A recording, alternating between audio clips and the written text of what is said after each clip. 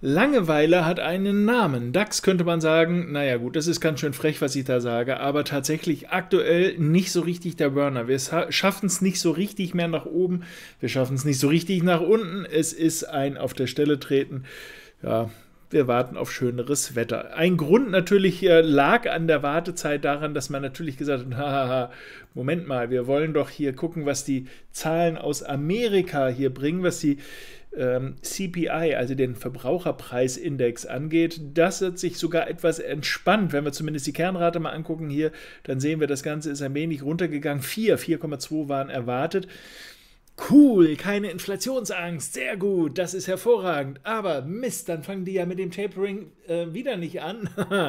ja, sieht, sieht gar nicht so schlecht aus, eigentlich, würde man sagen. Zumindest mal, wenn, sie, wenn man hier mal so oberflächlich guckt. Inflation ist ja ein wichtiger Punkt gewesen, dass Tapering anfängt. Der Druck scheint ein bisschen nachgelassen zu haben. Zumindest mal bei der Kernrate. Ansonsten ungefähr wie es erwartet war, allerdings trotzdem leicht rückläufig.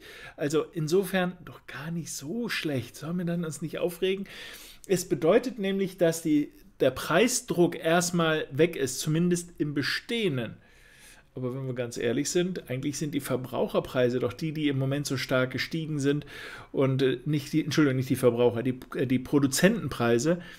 Ähm, und die werden doch früher oder später weitergegeben. Na gut, also bis jetzt ist es eine gute Nachricht. Der Markt müsste doch eigentlich jetzt vor Begeisterung jauchzen, denn das ist ein bisschen Druck weggenommen, was äh, die Tapering-Überlegungen angeht. Also sprich, dass die Notenbank jetzt keine äh, frei oder so viel Geld mehr in den Markt reinpumpt. So, also für den DAX ist das natürlich nicht ganz so relevant, aber was soll man hier über diesen Markt sagen? Ich muss gestehen, mir fehlen da die Worte. Soll man da jetzt irgendeine Empfehlung aussprechen? Also, wenn ich das sehe, die Aufwärtsbewegung, würde ich eher sagen, Short, wenn wir hier durchbrechen auf der Abwärtsseite, aber Begeisterung sieht sowohl im Chart als auch in meinem Gesicht anders aus. Also, das reizt mich jetzt wenig, da wirklich aktiv zu werden, hier in diesem Markt. Gucken wir dann doch lieber die eher relevanteren Märkte an, nämlich Amerika. Und jetzt schauen wir mal, 14.30 Uhr war nicht auf dem tiefsten Punkt, wie man vermuten könnte, sondern auf dem höchsten Punkt. Also, das heißt, wir haben nicht mehr so hohe Preissteigerungen, also weg, Druck weg, was, die, ähm, was das Tapering angeht, zumindest mal ein bisschen. Hm, aber der Markt sagt sich, hm, hätte noch mehr sein müssen. Also wir sehen schon, äh, dass äh, nicht immer die Nachrichten so eins zu eins übernommen werden können. Um zu sehen, was die Marktteilnehmer davon halten, ist es gar nicht so schlecht, sich das Verhalten der Marktteilnehmer anzugucken.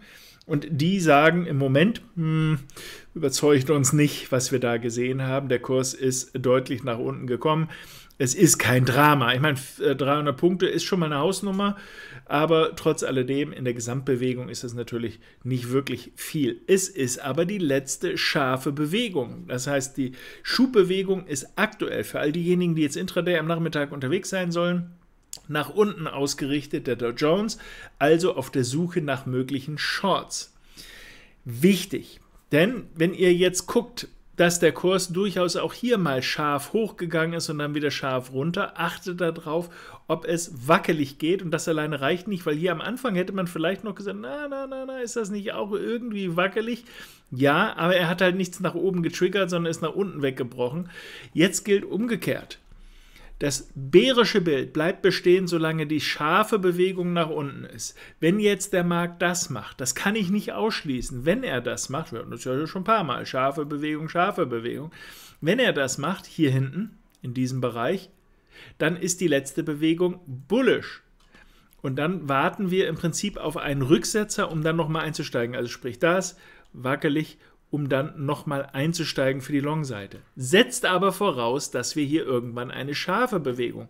Das sehe ich im Moment nicht. Klar, wir haben jetzt hier eine gewisse Chance, dass der Kurs hier dreht. Also für all die Liebhaber von Unterstützungsmarken hier mal ein bisschen genauer hingucken, ob der Kurs dreht. Achtet dann darauf, ob ihr eine scharfe Bewegung bekommt. Irgendwas, was ähnlich steil aus ist, steiler als ich es jetzt hier gezeichnet habe, gerne. Also in diese Richtung und dann eben diese Gegenbewegung, dann habt ihr zumindest die Idee, dass es vorläufig erst nochmal nach oben geht. Was jetzt total toll für die Shorties wäre, wäre, wenn der Kurs jetzt nach oben wackelig verläuft. Also eben hin und her gerissen sozusagen, mit vielen Kursüberschneidungen. Das heißt, in der Aufwärtsbewegung Gegenbewegungen, die dauernd sich Kurs überschneiden. Das wäre ein Zeichen, dass das letzte scharfe Bild nach unten ist, dass das letzte nicht so scharfe Bild nach oben ist und das bedeutet, dass wir eine sehr realistische Chance haben. Vereinfacht gesprochen, wenn wir den Trendkanal verlassen. Ich achte da nicht so sehr drauf, weil das häufig Schwierigkeiten macht, äh, je nachdem, wie sauber der Trendkanal läuft. Aber das letzte Zwischentief gebrochen, dass wir dann das, was wir hier vorne haben, da hinten nochmal bekommen. Das ist nur so ein kleiner Ansatz, aber das ist häufig eine Hilfe, dass wir sagen können, wenn es vorne steil ist, in der Mitte dann wackelig in die Gegenrichtung, dass sich das nochmal fortsetzt. Das ist nicht immer gut zu sehen und manchmal ist der Sauhund nicht in der Lage, uns was Korrektives zu schicken, sondern dann machen die Marktteilnehmer sowas. Ja, da muss ich gestehen, kann ich auch nicht genau sagen, was passiert. Ja, aber wenn wir was Wackeliges nach oben bekommen, dann hätten wir da ein sehr, sehr gutes Indiz, denn die letzte starke Bewegung ist abwärts und deutet darauf hin, dass vorläufig die Abwärtsseite die präferierte ist. Das heißt aber nicht hier jetzt zu shorten, insbesondere nicht, wenn wir da auch noch die Unterstützungsmarke haben, sondern erst nach einer Bestätigung, dass aufwärts zu schwach ist. Und schwach ist eben A, B, C mit Trigger hier oder ist mehrfach wackelnd mit Trigger auf dem letzten Tief. Falls der Kurs da durchgeht, dann eben die Fortsetzung, in diesem Fall dann eben entsprechend nach unten. Im Großen gibt es nicht viel Neues zu erzählen. Wir haben immer noch die Chance, eine realistische Chance, dass der Kurs hier diese Tiefmarke nochmal erreicht. 33.000 ist jetzt kein Versprechen, aber vom Tisch ist die nicht gänzlich. Also wir sollten nicht jetzt zu übermütig sein und sagen, ja, das kann nicht passieren. Doch, doch, das ist absolut realistisch, dass das passiert, aber es ist natürlich nicht zwingend, dass das passiert. Das hängt auch ein bisschen davon ab, wie ihr jetzt in diesem Umfeld jetzt hier entsprechend reagiert. Der S&P 500 ebenfalls, er ist von der Höhe her genau da, wo wir ihn haben wollten. Ja, ihr seht das hier in unserem Bereich 38,20 bis 61,80, ein bisschen drüber, ein bisschen drunter, alles noch safe. Wir sind im Moment mittendrin, alles super. Was wir bräuchten, um wirklich ein bullisches Ding zu bekommen, er müsste dann jetzt auch drehen. Wenn er noch tiefer geht, wird das immer weniger wahrscheinlich, dass sein Ziel eigentlich da direkt da oben ist, sondern es ist immer mehr wahrscheinlich, dass er eigentlich sogar nochmal die Abwärtsbewegung nochmal fortsetzt. Also es kommt hier schon ein bisschen drauf an, wie er jetzt damit umgeht. Für die kurzfristigen das gleiche Bild wie beim Dow, das erkläre ich jetzt nicht nochmal. Nehmt es analog, schnellste Bewegung runter, wackelig hoch. Im großen Bild alles noch einigermaßen safe, wobei ich sagen muss, wenn das wirklich korrektiv sein soll, ich hätte es mir nicht ganz so steil gewünscht. Je steiler, desto fraglicher das Ganze. Ja, desto eher kann das sein, oh, das war jetzt die letzte Bewegung hoch und jetzt kommt erstmal eine größere Pause und äh, wir steuern hier die nächsten Tiefmarken an. Eine haben wir jetzt hier bei 44, also 4420 in etwa, die nächste haben wir bei 4380 in etwa und dann die nächste haben wir dann hier unten erst wieder bei 4350 als Entscheidungsmarken. Das sind keine Garantien, dass der Kurs dorthin läuft, auch nicht, dass er da zwingend dreht, aber dadurch, dass diese Marken und diese Größenordnung in der Vergangenheit häufig relevant waren, werden sicherlich einige sich an diesen Marken orientieren. Und je mehr sich daran orientieren und je gewichtiger, und guckt es euch an, diese Marken beziehen sich auf diese Zwischentiefs hier, das ist schon mal eine gewisse Häufigkeit. Je mehr Leute sich darauf äh, fixieren, auf diese Niveaus, desto größer ist die Wahrscheinlichkeit, dass der Kurs da auch eine Entscheidung trifft, entweder zu drehen, dann müsste das im Chart so aussehen, um uns bullisch zu stimmen ja, also sowas kann es ja geben. Ja. Nicht toll ist es, wenn er dann sowas macht. Weil das heißt zwar, ja, mal Päuschen machen, aber Kraft haben wir keine. Und dann ist nämlich die Abwärtsseite, die, die zu, vorzuziehen ist. Also spannende Situation im Moment. Da ist noch nicht die Kuh vom Eis, was das angeht. Auch beim Nasdaq. Aktuell muss man ganz klar sagen, wir sind zwar noch in, der oberen, in dem oberen Bereich dieser, dieser Abwärtszone hier und dementsprechend ist noch alles safe. Der Bullenmarkt ist nicht kaputt. Ja, ihr seht das hier in diesem Umfeld, hier sind wir noch. Wir sind da an der Oberseite angekommen, das passt. Der darf auch jetzt, wenn er wackelig hochkommt, auch nochmal hier runter. Immer noch wären wir voll in dieser Zone, in dieser Höhe hier. Insofern ebenfalls noch alles safe.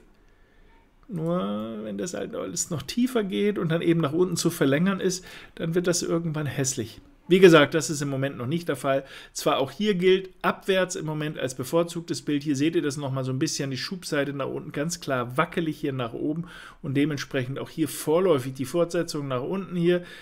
Das äh, scheint also das beliebtere Bild zu sein. Früher oder später wird es vielleicht auch nochmal einen größeren Rücksetzer. Das muss nicht jetzt hier sein, das kann auch ein bisschen tiefer noch, aber einen größeren Rücksetzer geben. Ist der wackelig, ist es nochmal die Fortsetzung nach oben. Das Bild ist hier genau das gleiche, auch wenn das ein bisschen anders hier von der Ausprägung aussieht. Die Betonung liegt, wo ist die starke und wo ist die schwache Seite. Hier haben wir es im Kleinen, wir können es auch nochmal hier angucken. Auf Minute, dann sieht man das nochmal deutlich. So sieht eine relativ starke Bewegungsrichtung aus, so sieht eine schwache Bewegungsrichtung aus. Also das ist ein Klassiker. Und dann, wenn die Unterseiten gebrochen werden, spricht eben einiges dafür, dass das nicht die Long-Seite ist. Na gut, das klingt logisch. Ja, genau so ist es eben auch. Wir wollen es in diesem Fall mal bei den Indizes belassen. Wir werden uns gleich natürlich die anderen Märkte nochmal angucken. Wer bei Born for Trading schon mit dabei ist, der weiß das natürlich sowieso.